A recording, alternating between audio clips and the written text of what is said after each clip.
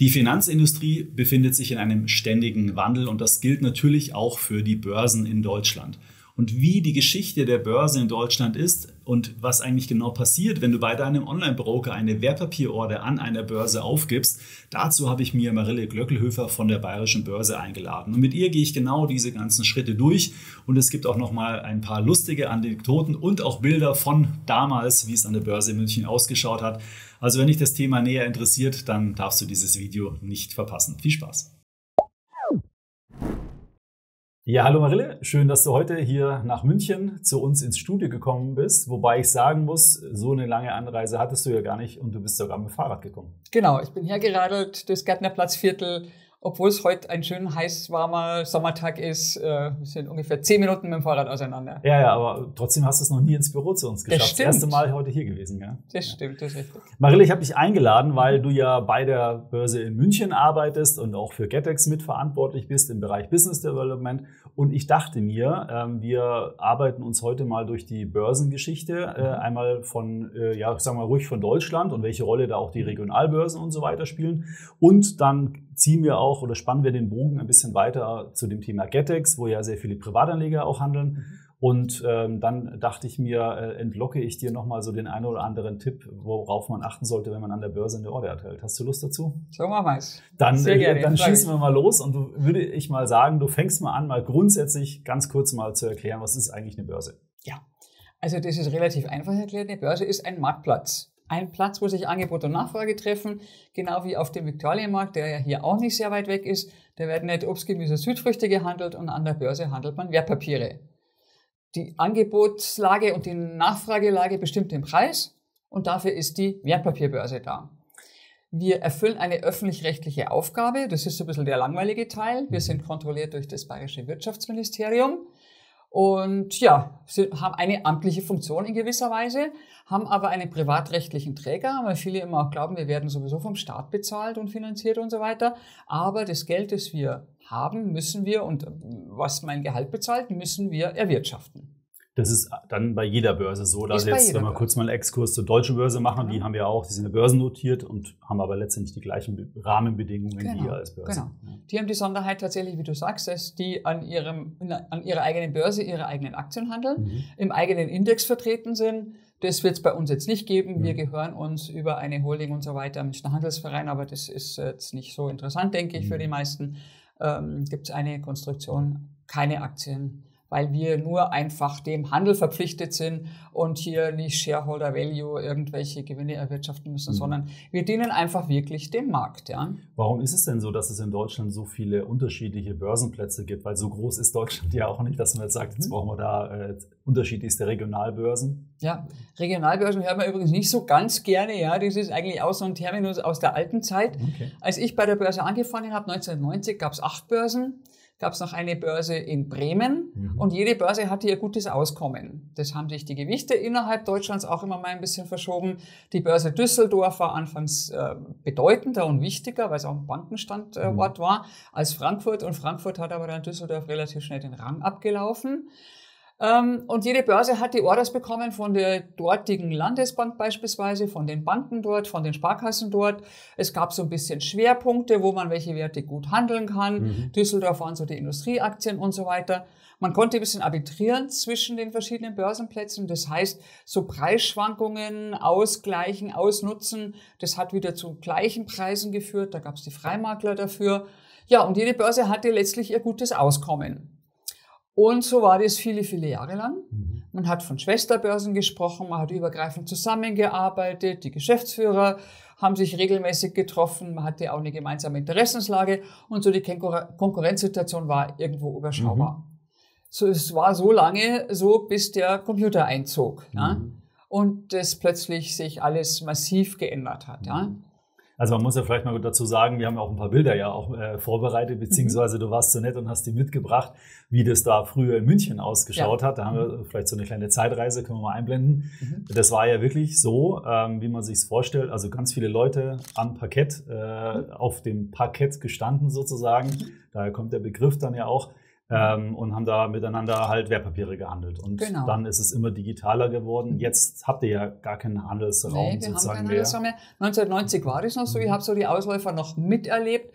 Da gab es noch einen Börsensaal, der 500 Quadratmeter groß war und da waren so zwischen 300 und 400 Leuten jeden Tag. Mhm. Die Händler sind mit den Orders wirklich so im Notizbuch drin mhm. äh, an die Börse marschiert.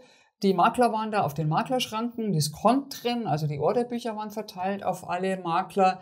Und der Handel ging von halb elf bis halb zwei, also eine überschaubare Zeit. Die Privatanleger waren jetzt nicht so aktiv an der Börse damals, aus zweierlei Gründen. Die Aktien waren damals relativ teuer, weil es hohe Nennwerte gab von mhm. 50 D-Mark. Und eine einzelne Aktie dann, also eine Siemens-Aktie oder Porsche oder was es damals halt auch schon gab, äh, dann ein paar hundert Euro, äh, D-Mark natürlich mhm. damals gekostet hat. Mhm. Man musste, äh, es gab variable Mindestschlüsse, also immer gleich so Pakete kaufen oder wurde nur einmal am Tag zur Kasse ausgeführt. Und eine Order war auch relativ teuer. Also das war noch eine ganz andere Welt. Es gab Kursanzeigetafeln und aber auch eine ganz eigene Atmosphäre und Stimmung an der Börse, ja. Es gilt das gesprochene Wort, ja. Das gab so diesen Ehrenkodex an der Börse. Es war damals schon immer die neueste Technik an der Börse im Einsatz, mhm. ja, sei es Bayern-Text, den es übrigens bis heute gibt, ja, wo die Kurse übertragen werden mhm. mit Videotext. Das stand dann teilweise auch in den Bankschaufenstern. Es gab die großen Kursanzeigetafeln, die sehr aufwendig und teuer in der Anschaffung waren. Fernschreiber als Fernschreiber aktuell war. Also immer die neueste Technik, die ersten Handys und so weiter, war mhm. immer alles an der Börse schon am Start. Und entsprechend ging es auch mit der Digitalisierung sehr, sehr schnell. Mhm. Plötzlich waren alle Händler weg, weil das Order-Routing hat nicht mehr der Herr XY gemacht, ja, sondern die Order war, wenn sobald der Handel begann, äh, automatisch im elektronischen Orderbuch des Maklers. Der hat nicht mehr sein Buch aufgeschlagen, sondern die Systeme halt eingeschaltet. Das kann man sich wie so eine Bilanz quasi vorstellen, ne, wo die ganzen genau. Kaufaufträge und Verkaufsaufträge sozusagen aufgeführt mhm. sind. Genau. Und wenn die sich dann matchen, dann, dann äh, blinkt sozusagen in der Mitte. Genau, sozusagen. und sowas früher. Der Makler hat mhm. auf einen Blick die Orderlage erfasst und hat dann den mhm. Kurs gemacht. Ja zu, dem, zu den Konditionen. Äh, die meisten Orders mussten ausführbar sein. Es musste eine Preiskontinuität gewährleistet sein. Er konnte selber long oder short gehen, aber im Prinzip hat er nach Orderlage gehandelt. Er hat natürlich schon immer Stücke auch und Spitzen ausgeglichen. Ich, Heute ganz anders. Ja, ich kann mich, äh, kann mich erinnern, als ich meine Banklehre gemacht habe, 1991, mhm. auch schon mhm. was her. Ja. Äh, da haben wir, wenn wir Wertpapiergeschäfte gemacht haben und manchmal gab es so Fragen, dann durften wir im Börsenbüro in München ja. oder in Frankfurt ja. anrufen. Da saßen dann wirklich so zwei, drei Leute von der Bank mhm. im, in so einem kleinen Kabuff. Die sitzen ja da immer so ganz kleinen Räumen nur. Und äh, da konnte man dann Frage stellen, warum die nicht ausgeführt wird oder oder wenn man eine größere Order hatte, dann ist er dann nochmal direkt zu dem Makler hingegangen mhm. und hat ihn dann gefragt, ob ob da genau. irgendwas geht oder so. Genau. Und das war das Spannende, diese besondere Börsensprache. Und die haben ja nur immer die letzten Stellen des Kurses dann ausgerufen, mhm. von dir an dich und so weiter. Also in mhm. alten Filmen sieht man das noch immer mhm. ganz schön. Und die Geräuschkulisse, das haben viele heute noch so im Kopf als Vorstellung von Börse. Ja, man sieht ja auch manchmal bei amerikanischen Firmen mhm. noch die Warenterminbörse, die ist noch mal ein bisschen wilder. Und ich glaube, die ist sogar auch noch äh, physisch. Gell? Die also CBOT, ehrlich gesagt, weiß ich jetzt, aber war es auf alle Fälle lange, sehr, sehr ja, lange. Genau. Sehr, sehr lange. Da war einfach dieses Chaos noch mit diesen verschiedenfarbigen Jacken ja, und so so weiter. Dann ja. in so, in so Pits, glaube ich, nennt, genau. nennt, man die in so, in so kleinen genau. Genau. Arenen, genau. nenne ich es jetzt mal. Aber eigentlich ist es, ist es schon lange nicht mehr zeitgemäß, weil es auch viel zu fehleranfällig einerseits mhm. ist und viel zu lange dauert. Das muss mhm. heute alles in Sekundenbruchteilen gehen. Ja. Aber es ist ja auch erstaunlich, wenn man jetzt überlegt, man ist jetzt, man sitzt am Handy oder vor seinem Computer wählt einen Börsenplatz aus, tippt da seine Sachen ein. Dieser ganze Prozess dauert wahrscheinlich x-fach länger als dann die digitale Übertragung und, und Ausführung. Das geht Ganz dann genau. äh, ratzfatz. Das geht ratzfatz, in Sekundenbruchteilen mhm. tatsächlich. Trifft die Order auf und wird vollautomatisch ausgeführt, sehr, sehr häufig, weil ja heute der Makler nicht mehr Order gegen Order ausführt, ja? Mhm. sondern er geht immer selbst in die Liquidität, er geht immer selbst ins Risiko. Er geht long oder er geht short, je nachdem, ob der mhm. Kunde die Kundin kaufen oder verkaufen will. Mhm. Wenn nicht der Makler nur oder Market Maker nur dafür da wäre, Order gegen Order auszuführen, dann käme nie was zustande. Mhm. Weil sich die einfach Käufer und Verkäufer ja, genau, selten treffen genau, würden. Genau. Und so stellt er sich dazwischen und sagt, genau, du willst verkaufen, ich kaufe von dir und du willst verkaufen. Und dann versucht er da einen Gewinn zu machen. Genau, sozusagen. ja, also er hat den Spread, mhm. den Unterschied zwischen Ankaufskurs und Verkaufskurs. Der muss natürlich aus Kundensicht immer sehr, sehr eng sein. Mhm. Und damit er kompetitiv ist, wird er den auch eng machen. Also der kann sich jetzt nicht der Zehnerl erlauben bei einer Siemens oder sowas. Ja, das mhm. darf halt höchstens ein Cent sein. Ja. Aber meistens ist ein Unterschied zwischen mhm. Ankaufskurs und Verkaufskurs. Und der Makler fährt dann die Positionen. Ja. Er mhm. baut vielleicht ein bisschen die Position auf, er baut eine Position ab. Aber er ist natürlich mit der Position im Risiko. Das ist das Geld des Maklerhauses, mhm. des Market Makers. Ähm, und die Verantwortung äh, des Maklers nenne ich es jetzt noch, ja. Mhm also der die, die Scontrin betreut, die Orderbücher betreut, dass er da was Vernünftiges draus macht. Mhm. Und auch natürlich weiß, wie der Kurs am Referenzmarkt ist, also dass er eine Apple so preist, wie er sie auch später wieder eindecken kann mhm. oder wie er sie in den USA momentan auch bekommt. Ja? Was ist dann so ein Referenzmarkt? Das ist dann immer der Markt, wo es am liquidesten ist sozusagen. Mhm. Kann man es vielleicht mit Großhandel und das ist so ein bisschen der Einzelhandel äh, sich vorstellen? So, so ein bisschen kann man es vergleichen, wobei der Makler natürlich immer Zugriff auf die Liquidität weltweit hat. Ja? Mhm. Also der kann auch 500.000 Apple handeln. Es ist kein Problem, weil er die ja jederzeit besorgen kann. Ja? Mhm. Oder äh, asiatische Aktien oder äh, nenn was du willst, also große mhm. liquide Aktien ist das gar kein Problem. Bei kleineren Werten und bei, bei, bei marktengen Werten oder bei irgendwie Tierpark Hellerbrunn oder sowas, mhm. da kann er natürlich nichts verkaufen, was er nicht eindecken kann. Mhm. Und er hat jetzt auch wenig Neigung, da große Positionen oder sowas aufzubauen. Da wird er eher Order gegen Order ausführen, so wie es früher war, aber das mhm. gilt wirklich nur für ganz marktenge Titel oder mal für eine Anleihe, wenn die ausverkauft ist, dann kann der Makler mhm. nichts machen. Ja, dann kann mhm. er sie ja nicht eindecken. Er kann halt auch nichts handeln, was er nicht wieder eindecken kann. Letztlich. Weißt du, wie viele äh, Wertpapiere auf GetEx gehandelt werden oder ah. wie viele Aktien vielleicht mal? Das ist dann ah. eine, eine, Zahl, die man besser erfassen kann. Ja, also wir handeln insgesamt 440.000 Wertpapiere. Ich habe mir schnell nochmal die aktuellen Zahlen aufgeschrieben. Ähm, ungefähr 8.500 Aktien. Mhm. Davon sind die meisten internationale, also 7.900 davon sind internationale Aktien. Aber dann ist es wahrscheinlich auch so 80-20 oder dass also in 20 Prozent der Aktien 80 Prozent des Umsatzes gemacht wird oder es konzentriert Teil, sich wahrscheinlich. Teilweise konzentriert sich, ja, aber es wird schon in sehr, sehr vielen äh, Instrumenten gehandelt. Mhm. Also wir beobachten das auch, ja. Da gibt es auch eine Aufstellung dazu. Also bei anderen ist es ein bisschen eine Sondersituation, weil da vieles dann gleich mal ausverkauft ist bei Emission oder gleich von Anfang an platziert ist, ja. Mhm. Aber wir handeln schon sehr, sehr viele der Instrumente tatsächlich aktiv, die an Getex gelistet sind. Was ich mir jetzt total schwierig vorstellen kann aus Privatanlegersicht, wenn ich jetzt, sagen wir mal, ich habe die Siemens-Aktie. Mhm. Und die Siemens-Aktie ist ja überall gleich. Es ist immer eine mhm. Siemens-Aktie. Jetzt gibt es aber verschiedene Börsenplätze. Es gibt vielleicht auch außerbörsliche Handelsplätze. Es gibt vielleicht auch noch Auslandsbörsen, wo die im Zweifelsfall gehandelt wird. Ja. Was, was macht denn jetzt weil die müssen ja eigentlich auch alle den gleichen mhm. Preis haben. Also mhm. was macht denn jetzt sozusagen die Qualität von dem Börsenplatz aus, wo, wo ich dann als Privatanleger sagen kann, okay, also ich kann mich irgendwie darauf verlassen, dass diese Börse für mich immer okay ist, oder muss der sich wirklich dann durch alle durchsuchen äh, äh, und den besten Börsenplatz finden? Also du hast jetzt schon ganz gut formuliert, ich will an der Börse handeln, die für mich okay ist. Mhm. Also es wird keine von allen Börsen immer zu jeder Zeit, die ganze Handelszeit von 8 bis 22 Uhr beispielsweise handeln wir, immer in jeder Aktie den besten Preis haben. Da will ich jetzt auch nochmal ein Missverständnis abholen an der Stelle, weil der Kunde kriegt ja oft Best Ex angeboten, ja, mhm. also Best Execution. Beste Ausführung. Beste Ausführung. Äh, das ist bei vielen so voreingestellt, ja. Mhm. Und viele gehen dann davon aus, ach gucke da, da ist jetzt der Computer, der übernimmt jetzt die Arbeit und rattert jetzt alle Börsenplätze durch, vergleicht jetzt die Orderlagen und ich werde dahin geroutet mit meiner Order, wo ich jetzt gerade am besten bedient werde. Weit gefehlt, da steckt nämlich eine sogenannte Best Execution Policy dahinter. Die gibt es seit der MIFED, also das ist so eine Regulierung, die mhm. jetzt, glaube ich, dritte oder vierte Version oder vierte äh, ja, Version schon hat. Ähm, und da wurde mal festgelegt, also eine Order bis 5000 Euro, die ist jetzt da am günstigsten oder die wird dort am schnellsten ausgeführt.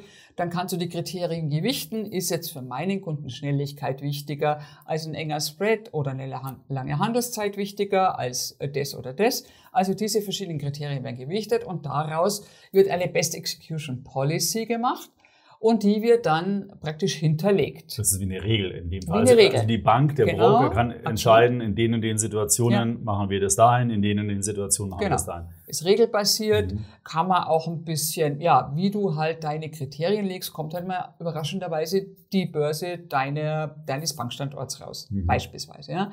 Was also, die kürzesten Datenwege hat. Das war wahrscheinlich der Hintergrund. ja.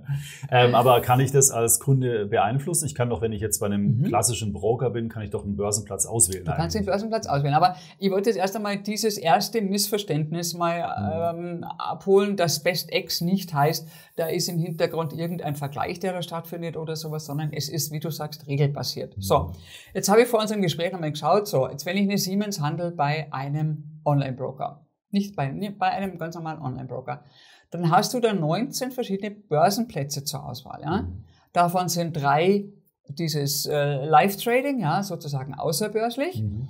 Dann hast du zwölf deutsche Börsenplätze, sieben internationale Börsenplätze.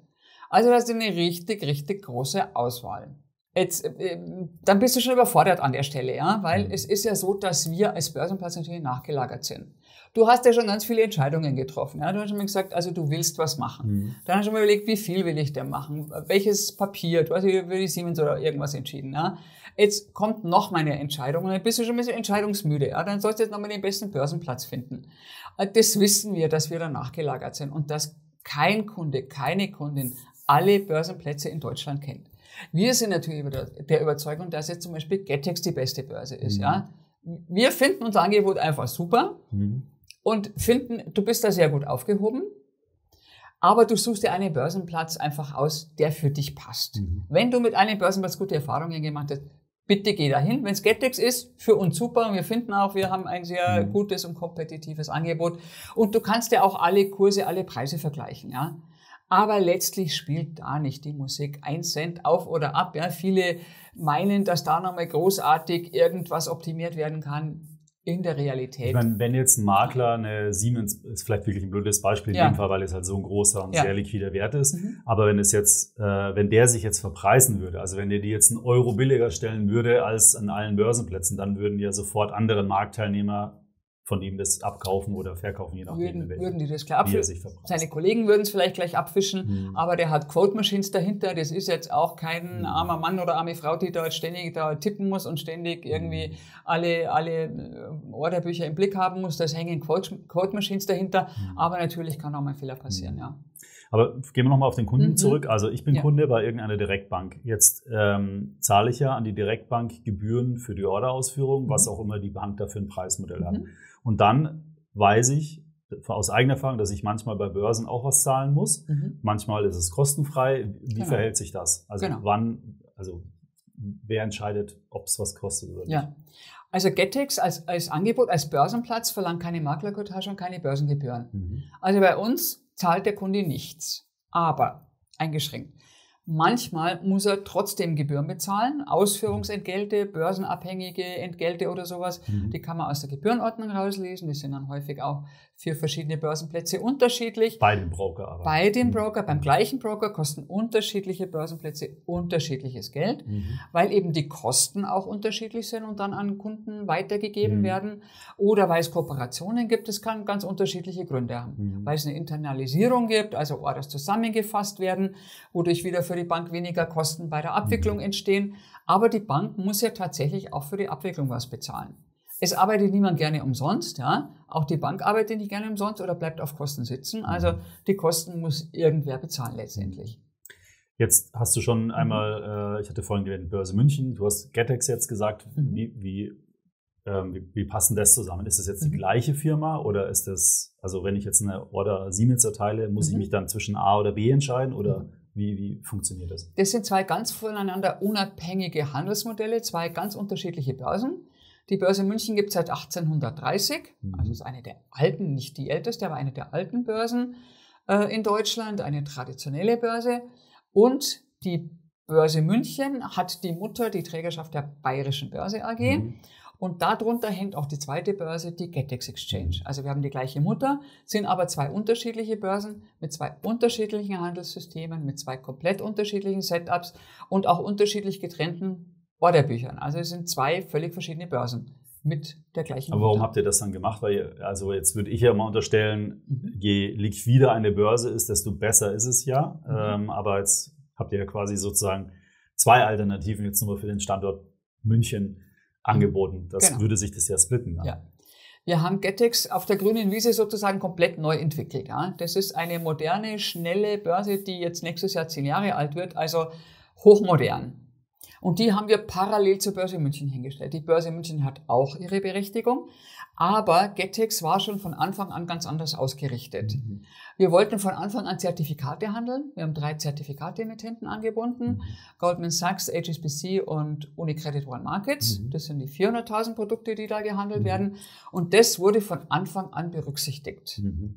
Also die wurde von Anfang an, das Setup ist komplett unterschiedlich, also technisch Masse anders programmiert. Ja. Genau, mhm. anders programmiert als jetzt die Börse München. Würdest du denn jetzt sagen, wenn jetzt ein Anleger ähm, zum Beispiel, bleiben wir mal bei dem äh, Ding Siemens, Siemens-Aktien kauft, der sollte dann eher in Getex oder in der Börse München handeln? Das kommt darauf an, ob im Getex angeboten ist. Also Consors wird sich vermutlich im Laufe des Jahres anschließen. Also, also nicht jede Bank ist da nein, angebunden. Nein, nicht jede, okay. nicht jede Bank oder Online-Broker ist an Getex angebunden. Mhm. Consors kommt im Laufe des Jahres mhm. vermutlich dazu.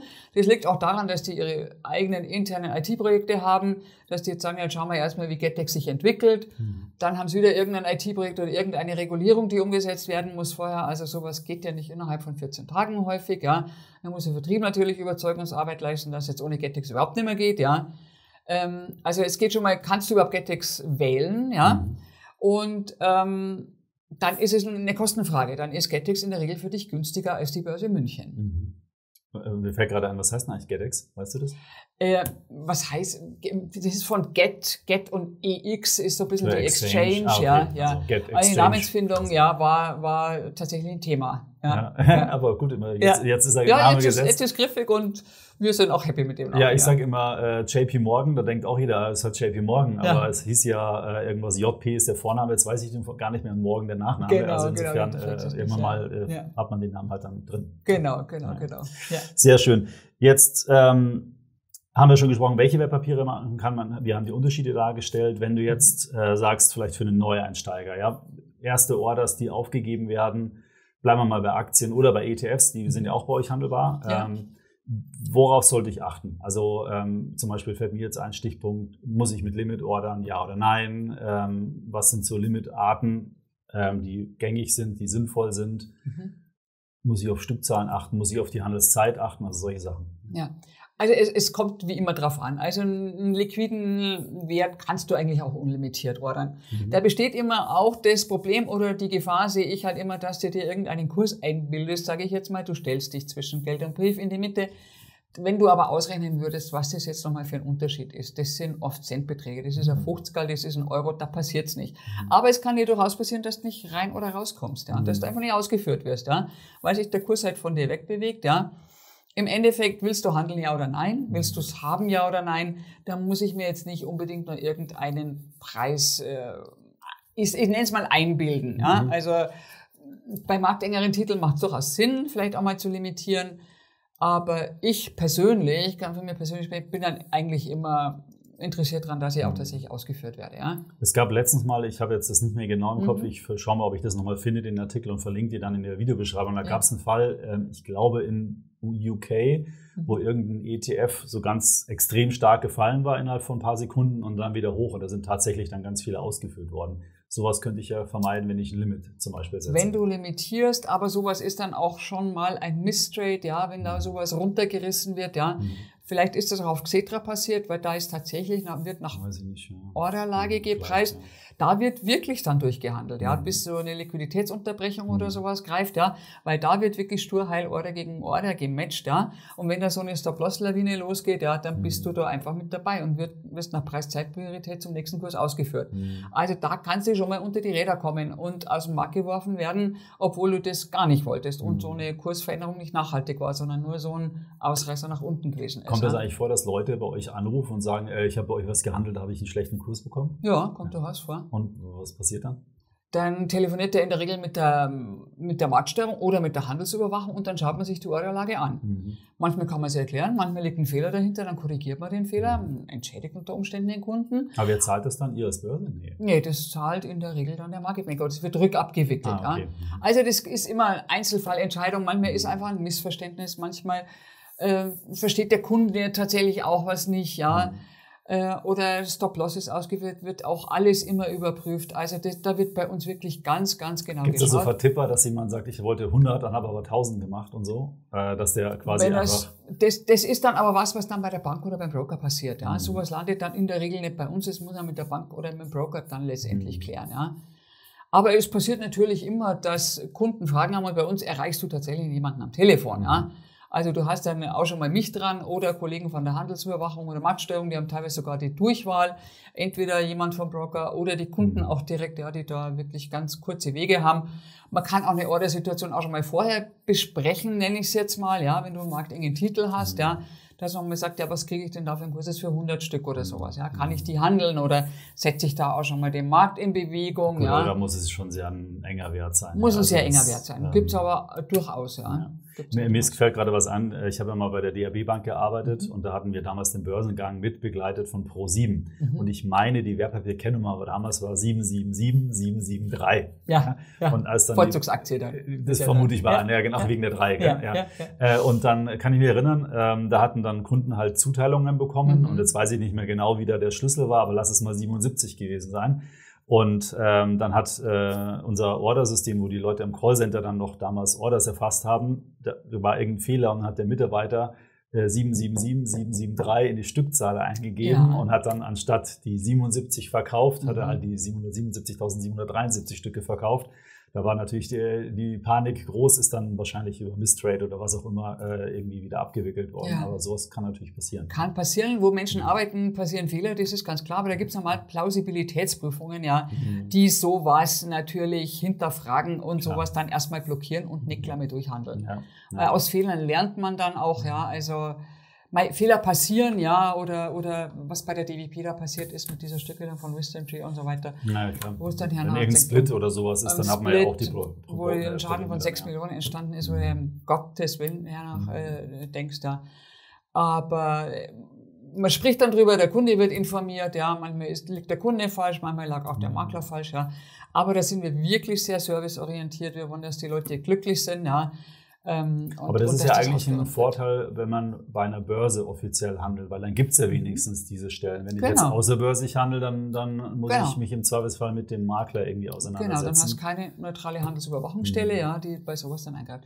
Wir sind überhaupt sehr serviceorientiert, ja, das wollte ich an der Stelle vielleicht auch nochmal anbringen, ja. Mhm. Wir haben zum Beispiel den Service Listing on Demand, also wenn du jetzt bei einem bestimmten Online-Broker bist, ja, oder Neo-Broker, der jetzt zum Beispiel nur GetTex hat als Börsenplatz. Du willst mhm. dein Depot übertragen, vermisst die eine oder andere Aktie, die jetzt auf GetEx möglicherweise nicht gelistet ist, dann gibt es den Service Listing on Demand. Mhm. Oder du liest irgendwo von einem Börsengang in den USA und würdest die Aktie auch gerne in Deutschland handeln.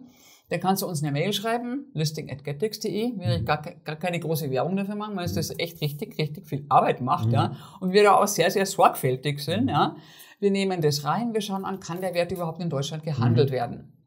Dafür braucht es einen sogenannten LEI. Das ist jetzt schon sehr speziell, also einen Legal Entity Identifier. Mhm. Wenn der Emittent den nicht hat, können wir nicht handeln, obwohl wir es gerne machen würden. Das war auch das Thema mit den Schweizer Aktien, oder? Ja, ja das ist wieder andere. Da liegt, da liegt ein regulatorischer Streit dahinter, mhm. können wir seit 2019 nicht handeln. Mhm. Weil es da auf EU-Ebene Knies gab, die mhm. erkennen uns nicht an, dann erkennen wir die auch nicht an äh, können wir keine Linton Sprüngli beispielsweise mhm. Originalaktien mhm. handeln. Gibt es halt dann teilweise ADRs oder Zertifikate. Mhm. Also wir kümmern uns dann drum, schlagen dem Market Maker äh, die Aktie vor oder auch ETFs. Und ähm, wenn der Market Maker sagt, gut, da ist Geschäft zu erwarten, da geht was um, mehr Leute wollen das haben, das ist auch liquide am Heimatmarkt, nicht irgendwo ein Explorer, irgendwo ein mhm. Wasserloch in mhm. Australien oder sowas, wo kein Geschäft zu erwarten ist, mhm. weil dann führt er die ein, bezahlt Listinggebühren, dann handelt der Kunde vielleicht auch mal und kommt er auch schlecht wieder raus, mhm, wenn es nicht klar. liquide ist. Ja? Das dient ja dann auch dem Anlegerschutz, ja, dass nicht so ganz marktenge Titel was, was mache ich denn eigentlich, wenn ich jetzt ein Wertpapier gekauft habe und das wird delistet an der Börse, also vielleicht nur an eurem Handelsplatz? Dann kann ich das, kann, könnte ich die Aktie dann trotzdem an einem anderen Handelsplatz in Genau, da musst du die unter Umständen übertragen. Musst die unter Umständen übertragen. Okay, Aber wir, wir kennen auch die Probleme, ja. Mhm. Also wir delisten nicht einfach irgendwas, wo wir wissen, dass Leute drin sind. Also wir mhm. versuchen schon wirklich äh, Leute da, eine Börse ist zum Handeln da letztendlich, ja. Ja, wenn aber wenn kein Handel stattfindet über lange Zeit oder nur wenig, wenn dann, wir Stilisten müssen, hat, er eh kein Interesse. Dann kann auch Bader häufig schon sehen, wie viele mhm. Leute haben denn das noch im Depot liegen oder mhm. sowas. Also da ist immer eine Interessensabwägung da. Wir schauen mhm. immer, dass die Leute und die Kunden zufrieden sind. Ja. Mhm. Und nicht, dass die Leute in dem Titel drin sind und dann wird die Liste. Also mhm. das ist äh, nicht in unserem Interesse. Und, und bei den. Handelszeiten würdest mhm. du dann sagen, keine Ahnung, mittags, in der Früh gleich, äh, weil es gibt immer ja. wieder auch mal so Kritikpunkte, dass wenn bei Sparplänen, wenn die dann am Anfang in der Früh einfach äh, in die Börse gelegt werden, dass es da schlechte Kurse gibt. Also wir handeln von 8 bis 22 Uhr. Mhm. Und es ist schon so, dass bei Marktöffnung es immer ein bisschen volatiler ist. Weil da mhm. wird erstmal ähm, gehandelt zur Marktöffnung, was im Orderbuch drin ist und sofort ausführbar ist. Mhm. Also ich persönlich würde immer ein bisschen so warten, bis sich der Markt gefunden hat, mhm. äh, würde ich es jetzt mal bezeichnen. Also nicht gleich um 8 Uhr zur Marktöffnung reingehen. Und amerikanische Titel beispielsweise On-Hour handeln, ja, ab 15.30 Uhr und dann eine gleich um, da würde ich auch bis 16 Uhr, 16.30 Uhr warten, bis der Handel in Schwung ist und dann kannst du super gut handeln, amerikanische Titel bis 22 Uhr. Und dann würde ich auch die Order nicht irgendwie um 10 vor 10 abends platzieren, weil der Makler mag dann also die Orderbücher zumachen mhm. und keine Positionen mehr aufbauen, sondern auch gucken, dass jetzt eben das nicht schick um, um äh, zwei Minuten vor 10 oder mhm. sowas. Ja, oftmals kommen ja dann ab 10 die Zahlen raus bei amerikanischen genau, Aktien, genau. dann springen die auch oft und dann. Ja, Genau, also da, da kann schon mal ein bisschen eher so vor, vor, vorbörslicher Move dann drin sein oder, mhm. oder nachbörslicher Move. sein. Also das sind so die vernünftigen Zeiten, on-hour zu handeln, mhm. wenn du es kannst, äh, ist eine gute Sache. Und bei Anleihen vielleicht nochmal ganz was anderes. Mhm. Da hast du ja schon gesagt, es kann sein, dass die ausverkauft sind und so weiter. Mhm. Da funktioniert das System ja ganz grundsätzlich anders. Also bei einer Aktiengesellschaft, die geht an die Börse, da werden die Aktien verkauft und dann will man ja einen aktiven Handel an der Börse haben. Ja. Bei Anleihen, die werden ja eher platziert bei Investoren mhm. und die brauchen, also die Investoren, die Großinvestoren brauchen ja eigentlich gar keine Börse, mhm, weil die das genau. eh untereinander machen, aber Privatanleger haben da natürlich eine Möglichkeit. Aber manchmal brauchen sie die Börsennotierung. Mhm. Die brauchen nicht den Handel, aber die brauchen die Börsennotierung, mhm. die amtliche Preisfeststellung, amtlich nenne ich es jetzt mal, die Preisfeststellung an der Börse für ihre Vorgaben, die sie da haben, ja, mhm. oder für, für ihren Fonds oder was weiß ich, ja. Äh, Anleihen haben eine Sondersituation, weil nicht jede Anleihe für alle handelbar ist, ja. Mhm. Ähm, das ist auch wieder so eine Überregulierung, ja. Die Anleger sollen ja wieder vor sich selber geschützt werden, ja. Das führt aber jetzt zu dem Wildwuchs oder zu der Übertreibung, dass eine variable Anleihe als strukturiert gilt, ja. Mhm. Also du weißt vorher, die hat einen variablen Zinssatz, geht mit, mit, keine Ahnung, Euribor oder Libor oder was weiß ich, was es da alles mhm. gibt, ja, äh, mit dem und dem Abstand. Aber dadurch hat es einen variablen Zinssatz oder einen Stufenzins Du weißt, der ist im ersten Jahr so, im zweiten Jahr so, im dritten Jahr so. Das weißt du vorher, die Gegebenheiten, aber es gilt jetzt als strukturiert und als kompliziert mhm. und davor muss jetzt, muss jetzt du geschützt werden. Ja? Mhm, okay. Dadurch ist die für viele Anleger möglicherweise nicht handelbar. Mhm. Dann gibt's Zielmarktkriterien. Ja? Also es wird durch diese Regulierung für den Anleger, die Anlegerin auch nicht einfacher. Mhm. Zielmarktkriterien. Ja? Dann hast du dich vorher ja auch eingeschätzt, ja. Bist du risikoavers oder hast du wahnsinnig viel Erfahrung? Das mache ich beim Broker. Das machst du mhm. beim Broker, kannst alles handeln. Hatte ich am Freitag einen, einen Anrufer aus Italien am Telefon, der hat einen bestimmten ETF nicht bekommen. Dann haben wir zusammen herausgefunden, dass er sich wahrscheinlich zu konservativ eingeschätzt hat und diese, diesen High-Yield-ETF nicht handeln durfte. Mhm. Wahrscheinlich, weil er nicht der Zielkunde war letztendlich. Mhm und dann der Broker verpflichtet ist, ähm, ihn da sozusagen zu sperren dafür, weil er in der Selbstauskunft mhm. gesagt hat, ich kann das gar nicht. Mhm. Ich äh, mhm. vereinfache jetzt mal, ja. Also da gibt's alle möglichen Stolpersteine, Kriterien, auch wenn ein Titel, ein ETF kann es auch sein oder eine Aktie bei uns schon notiert ist. Der Kunde kann sie aber noch nicht handeln. Bei seinem Neobroker, bei seinem Broker, mhm. dann kann es auch sein, dass da äh, die ganzen Dokumente noch nicht hinterlegt sind. Mhm die der Neobroker, die Bank, dem Kunden zur Verfügung stellen muss zum Abruf. Ja? Und wenn er das nicht vollständig dokumentiert, dann kann er vom Kunden verklagt werden, weil er gesagt hat, ja, passt mal auf, ich habe ja gar nicht die Möglichkeit gehabt, mir den Verkaufsprospekt durchzulesen oder die Anleihbedingungen oder die, die, die Prospekte und, und so weiter. blocken die Banken das, obwohl es an der Börse obwohl handelbar es handelbar ist, ist weil mhm. du das noch nicht einsehen kannst. Ja, mhm. der Kunde, du kannst nämlich später behaupten, ich konnte es ja noch nicht lesen, äh, mhm. konnte es ja noch nicht sozusagen mich ja, aufschlauen hier. Mhm. Äh, bitte, liebe Bank oder lieber Broker, machen wir mal eine Rückabwicklung, weil ich mhm. bin jetzt jetzt hier kräftig im Verlust, ja. Mhm. Ähm, du hast mich nicht so aufgeklärt, wie es vorgeschrieben ist, mhm. ja. Es ist eine Vollkatastrophe und auch die Anleger werden da behindert, ja. Mhm. Das ist eine Überregulierung und mhm. kein Mensch der Welt liest jemals irgendwas davon mhm. durch. Ja, das sind nur lauter Checkboxen und dann oh. klickt man sich halt durch. Niemand liest, also ich, ich kenne niemanden. Ich habe mal, ich habe mal, ich weiß nicht mehr genau, wie das war, aber da hat irgendeine Firma, die hat in ihren AGBs einen witzigen ja. Text versteckt. Ja, also, und es war, glaube ich, ein Gewinnspiel. So, genau. Wer sich da jetzt wendet, kriegt ein iPhone geschickt. Da hat genau. sich keiner, über ein halbes Jahr kein Mensch gewählt. Die sind lange nicht losgeworden, ja, ne? Ja, genau. Niemand kennt man von sich selbst auch, dass man alles einfach immer schnell akzeptiert. aber weil es zu viel ist. Der Witz ist ja, das ist ja dann zu genau. viel. Also man, man genau. will ja, dass es reguliert ist, weil man will ja einen sicheren. Rahmen haben. Aber man, äh, wie soll ich sagen, man will halt, dass es, äh, also dass ich nicht derjenige bin, der sozusagen das prüfen muss. Ja. Weißt du, wie ich meine? Also ja, ja, kein Mensch liest sich durch, was zu viel niemand, ist, weil niemand. man sowieso nicht versteht. Aber natürlich will man, dass es reguliert ist, damit man halt eine gewisse ich, ich bin sicheren Rahmen hat. Ja. Die Leute sollen manchmal schon auch vor sich selber mhm. geschützt werden. Ja, es soll niemand äh, sofort CFDs handeln können. Ja, mhm.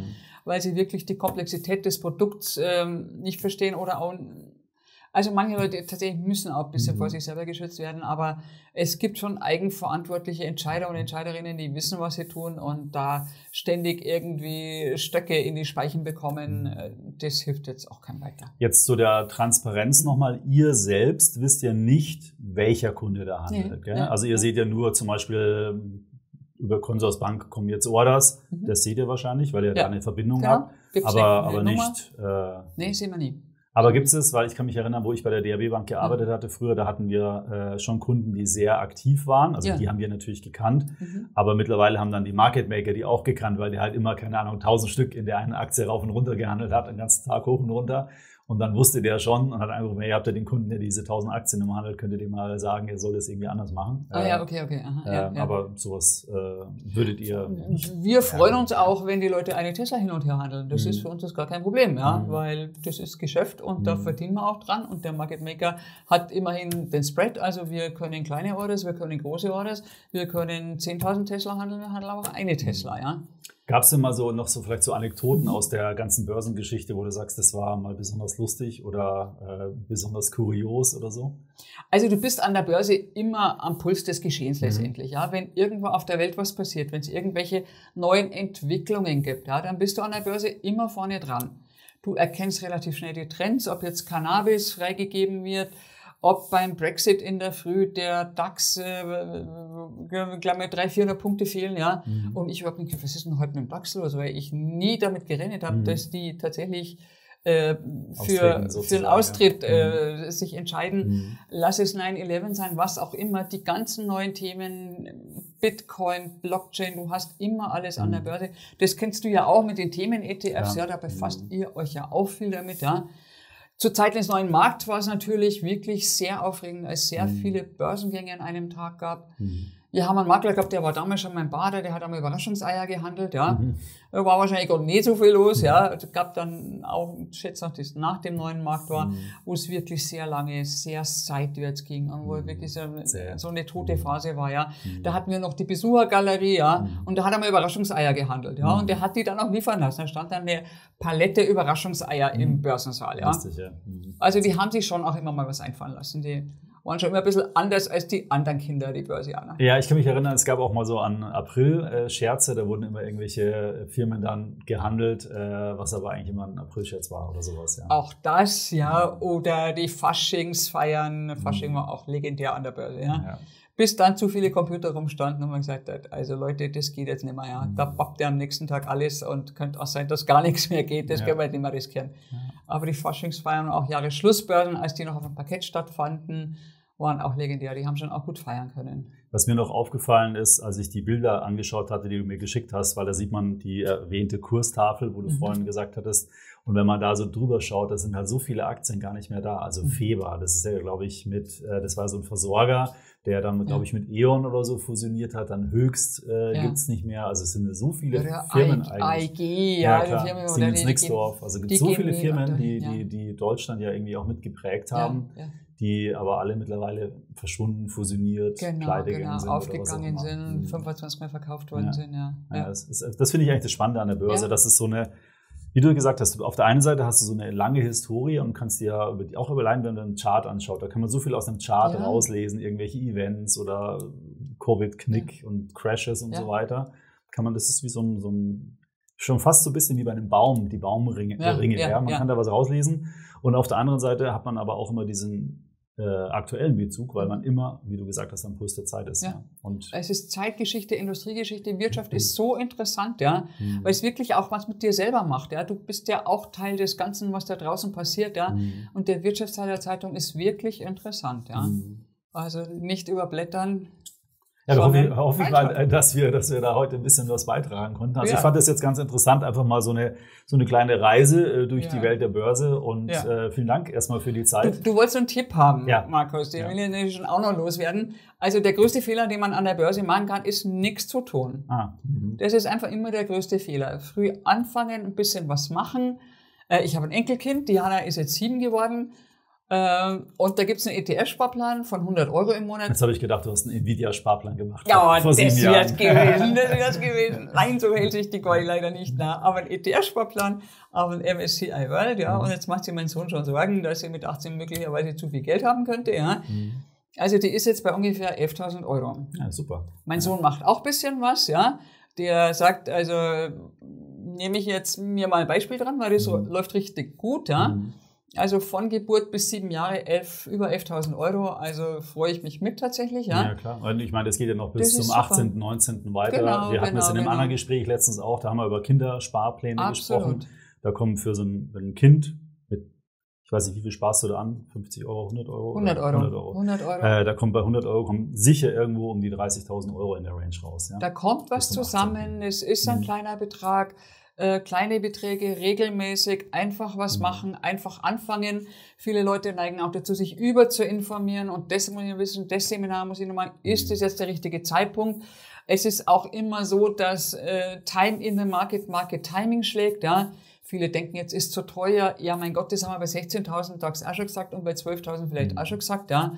Also einfach drin sein und auch den zweiten Fehler nicht machen, wenn es irgendwie korrigiert, auch wenn es eine scharfe Korrektur geht, dann rauszurennen, Angst zu kriegen, mit Verlust zu verkaufen, Verluste zu realisieren, die man gar nicht realisieren müsste, weil wenn man dann rausgehen muss, dann hat man sowieso was falsch gemacht, ja. Sondern immer langfristig sich immer mal dann vielleicht zur Beruhigung das Rendite-Dreieck anschauen vom Deutschen Aktieninstitut, dass langfristig das immer im grünen Bereich sein wird, die Wirtschaft immer wachsen wird, ja, und dann eine Renditeerwartung von zwischen 6 und 8 Prozent absolut realistisch ja. ist und dann den langen Atem haben. Nicht rausrennen, wenn es korrigiert, sondern im Gegenteil kaltblütig dann investieren, wenn man ein bisschen Geld auf der Seite hat und sich dann wieder freuen, wenn es wieder steigt. Ja, das ist ein guter Tipp mit dem Renditedreieck. Das wollte ich nämlich auch gerade noch ergänzen, weil man, wir blenden das am besten mal kurz ein, weil selbst wenn man äh, jetzt da gar nicht so sehr ins Detail geht, aber man sieht anhand der Farben, dass in den meisten Fällen die Farben grün sind und grün bedeutet ja, da hat man einen Gewinn gemacht. Und äh, es gibt auch rote und so leicht gelbe äh, eingefärbte Bereiche. Da hat man Verlust gemacht, aber mhm. man sieht es anhand der Häufung auch, dass das die kurzen Anlagezeiträume sind. Das heißt, genau. wenn man jetzt länger als zehn Jahre oder so an der Börse investiert, dann ist es also war es zumindest bisher in der Vergangenheit sehr unwahrscheinlich, ja. ähm, ähm Verluste genau. zu erzielen. Das wächst sich sozusagen aus und der Vorteil von einem Sparplan, von einem ETF oder Aktiensparplan ist der sogenannte Cost-Average-Effekt, hast du wahrscheinlich schon tausendmal erklärt, gell? weil es einfach aber auch wichtig ist, wenn es teuer ist, dann freust du dich, dass alles steigt und wenn es billig ist, also wenn die Börse korrigiert, dann freust du dich, dass du günstig einkaufst, ja. Und durch den gemittelten Kurs, da kannst du eigentlich nichts anderes als Gewinn machen. Ist aber nur ein psychologischer Effekt, weil eigentlich wäre es immer besser am Anfang äh, zu investieren, dann ist das Geld sozusagen komplett drin. Aber es geht natürlich nicht, der ist halt realitätsfern, weil die Leute haben ja nicht genau. ihr Geld auf dem Konto, sondern es kommt genau. über das Gehalt genau. rein. Deswegen. Ja ja. ähm, macht das auf jeden D Fall Sinn. Das ist ja. eigentlich das praktischere Beispiel, ja. Ja, genau. Ja, sehr schön. Also super, schön. vielen Dank. Äh, ähm, hat mir sehr viel Spaß gemacht. Äh, gerne wieder. Und äh, dann, äh, wir gucken mal, vielleicht können wir ja mal bei einem Börsengang äh, äh mal ein Video noch machen zu dem Unternehmen. Und dann kann der Vorstand bei uns hier vorbeikommen und wir besprechen das mal im Detail. Danke, so dass du da warst. Vielen Dank. Danke, Markus. Hat Spaß gemacht. Dankeschön. So, das war der Talk mit Marille Glöckelhofer von der Bayerischen Börse. Ich hoffe, da waren ein paar interessante und spannende Einblicke für dich mit dabei. Schreib doch mal gerne in die Kommentare, auf welchen Börsenplätzen du denn gerne deine Aktien und ETFs handelst. Bin da schon gespannt, was ihr da für Börsenplätze alles so rauskramt. Ansonsten würde es mich natürlich sehr freuen, wenn euch das Video gefallen hat, wenn ihr ein Like da lässt und natürlich den Extra ETF YouTube-Kanal abonniert. Dann sehen wir uns bald wieder hier mit einem neuen Video rund um die Geldanlage mit ETFs.